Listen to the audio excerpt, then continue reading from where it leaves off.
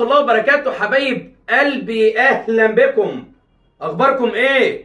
يا رب دايما تكونوا بخير. وحشتوني جدا جدا. وعلى طول بتوحشوني. وأهلا وسهلا بيكم في حلقة جديدة من الملعب الدود سبورت. حلقة اليوم النهاردة تتكلم على خبر اليومين دول والشوارع المصرية بتتكلم عليها. وفاكهة وفاكهة الصفقة اللي هنتكلم عليها في حلقة اليوم. بس عايزين نعمل اشتراك للقناة ونفعل الجرس ونوصل الفيديو إلى 3000 لايك. بنجح بيكم بدعواتكم وبإذن الرحمن. أكون دايما عند حسن ظنكم اللهم صل على سيدنا محمد وعلى آله وصحبه وسلم. وهنقول بسم الله الرحمن الرحيم. صفقة اليوم اللي جاية النهاردة علشان نقول لكم عليها. اللي دلوقتي بنعرض أهدافها وجمالها ورقتها وحلاوتها وهو صفقة إمام عاشور اللي فعلا ينتقل للنادي الأهلي ينتقل للنادي الأهلي. بس بنسبة كبيرة لسه ما وقعش. بنسبة كبيرة لسه ما وقعش. علشان في كلام من اللجنة الفنية اللي انضمام أو مارسيل كولر معجب بيه. إمام عاشور وطبعا إحنا بنتفرج دلوقتي على أهدافه ومتعته وجماله ورقته وكل شيء وهو نجم ميتلاند الدنماركي وفعلا نجم نادي الزمالك السابق وفي الوقت الحالي اللي خلاص ممكن يكون الرتوش الأخيرة بالنسبة لمارسيل كولر علشان هو بيقول لك أنا ما عنديش مانع أنا ما عنديش مانع للراجل والراجل زي ما قلت لكم قبل كده في حلقة اليوتيوب أو الفيسبوك على امام عاشور اللي طلع اتكلم وقال حاجات مش ظريفة أو حاجات مش حلوة لرموز وامكانيات وتألق وإبداع النادي الأهلي اللي أنا أغلط في رموز النادي الأهلي وأخبط في في رؤساء النادي الأهلي. لأ أنت كده عايز تهيج الدنيا كلها بعد شتمتك للنادي الأهلي أو بعد كلامك على النادي الأهلي. أنت كده هتجيب مين؟ نجوم زمن العصر الجميل زي كابتن حسام حسن وابراهيم حسن وعصام الحضري وعبد الله السعيد وابراهيم سعيد واحمد فتحي وحسام عاشور. لما يجي يقول لك إيه ده؟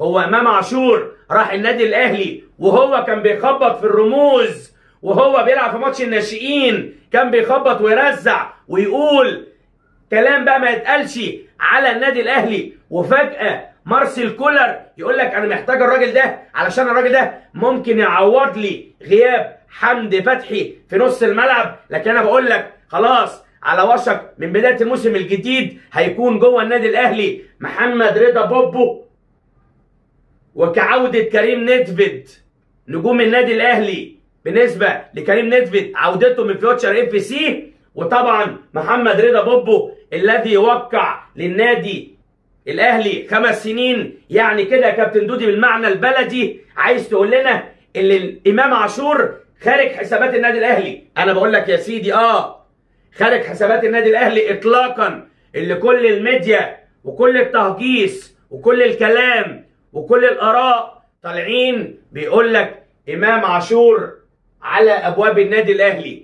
إمام عاشور وقع أربع سنين ونص للنادي الأهلي. وأنا بقول لك يا سيدي الراجل ما وقعش. الراجل الموضوع تماما بعيد عنه خالص. كولر قال لك لأ لو الإدارة ليها سلطة حتة إمام عاشور أنا بقول لك يا سيدي أنا هكون مع الإدارة كمارسيل كولر علشان النادي الأهلي قلنا نادي مبادئ نادي احترام نادي أدب نادي قيم ومبادئ وأخلاق. وأنا بقول لك مع إمام عاشور مش هتلاقي الزريبة اللي انت كنت عايش فيها يا عم إمام والنادي الأهلي قلت لكم مليون مرة اللي النادي الأهلي أهم شيء في الدنيا.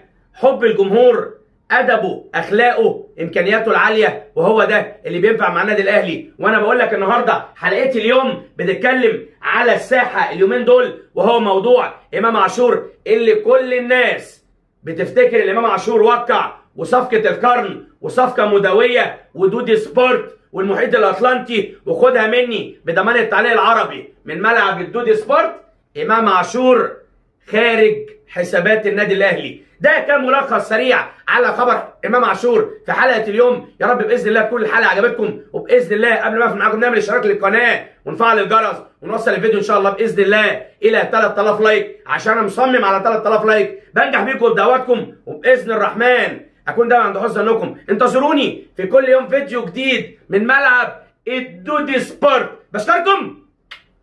والسلام عليكم ورحمة الله وبركاته. لا تنسوا الاعجاب بالفيديو والاشتراك في القناة. تشجيعا لنا لنستمر بنشر المزيد إن شاء الله.